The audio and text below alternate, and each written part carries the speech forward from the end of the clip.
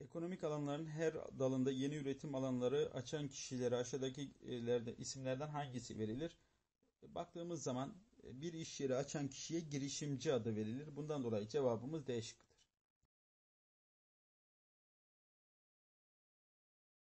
Türkiye'de yatırım yapılabilecek bölgeler ve tarımsal faaliyetlerden hangisinde yanlış eşleştirilmiştir demiş. Güneydoğu'da karpuz, evet doğru. Ege'de zeytin, doğru. Karadeniz'de buğday, hayır. Buğday nedir? Yazın kuraklık isteyen bir bitkidir.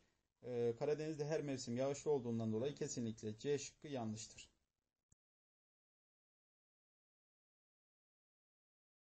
İyi bir girişimci ilk ilk olarak şimdi girişimci gittiği bölgede ilk iş olarak o bölgenin neye ihtiyacı var, neye ihtiyacı yok onu belirlemelidir. Yani cevabımız A şıkkıdır. İhtiyaçları belirlemelidir.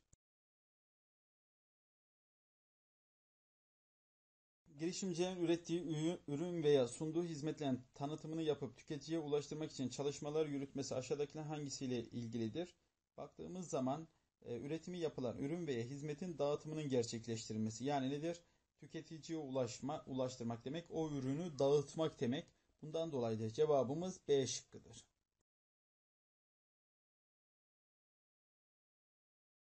İş adamı Adnan Bey büyük bir tekstil fabrikası kurmayı planlamaktadır. Adnan Bey'in e, işletmesini kurduktan sonra fabrikanın kurulduğu bölgede aşağıda hangisinin yaşanması beklenemez. Şimdi baktığımız zaman Bölge göç alır mı? Evet fabrika kuruluyor. Halkın gelir düzeyi artar. Yeni konutlar yapılır. Çünkü fabrika kurulmuş. İşsizlik artmaz, azalır. Bundan dolayı cevabımız A şıkkıdır.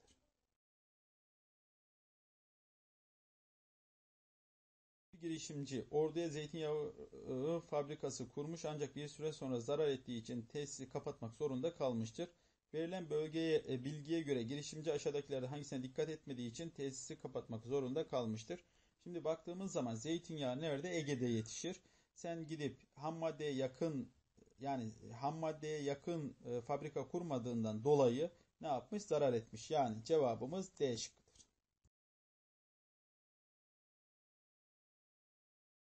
Aşağıdakilerden hangisi girişimcinin özellikler arasında yer almaz? İleri görüşlüdür. Evet. Yeniliklere açıktır. Özgüveni yüksektir. Acelecidir. Hayır. Girişimciler aceleci davranmaz. İyi araştırır, iyi karar verirler.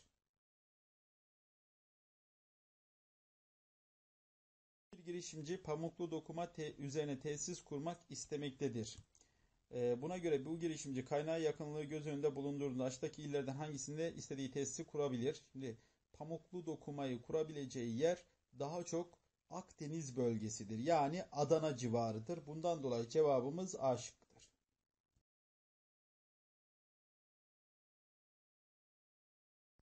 Habere göre aşağıda hangisi söylenemez? KOSGEB Çorum İl Müdürü Yusuf Yıldız, KOSGEB Çorum İl Müdürlüğü, e, Müdürlüğü olarak il toplam 245 uygulamalı girişimcilik eğitim programı kapsamında 6885 girişimciye sertifika verdiklerini belirtmiş. 776'sı kendi işletmesini kurmuş. Yıldız ayrıca kendi işinin patronu olan 776 girişimcinin 421'inin erkek, geriye kalan 355'inin kadın olduğunu söylemiştir.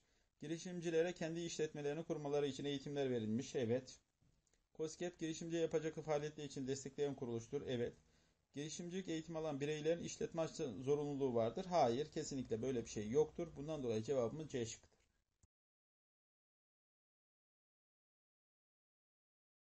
İyi bir girişimci genel tüketim alışkanlıkları ve bölgesel özelliklere göre yeni projeler ortaya koyan kişidir.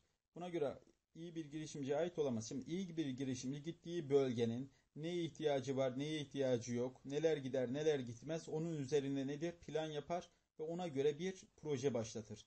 Kendini sürekli geliştirir doğru.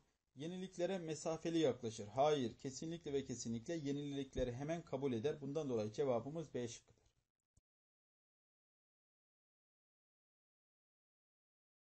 Girişimci olan Ahmet Bey Karadeniz bölgesinde yaşıyor ve burada yatırım yapmak istiyor. Buna göre e, Ahmet Bey'in aşağıda ürünlerden hangisiyle ilgili yatırım yapmalıdır? Şimdi Karadeniz'de, Ordu, Giresun'da ne yetişir? Fındık yetişir. Bundan dolayı ne ilgili yatırım yapması gerekiyor? Fındıkla ilgili yatırım yapması gerekiyor.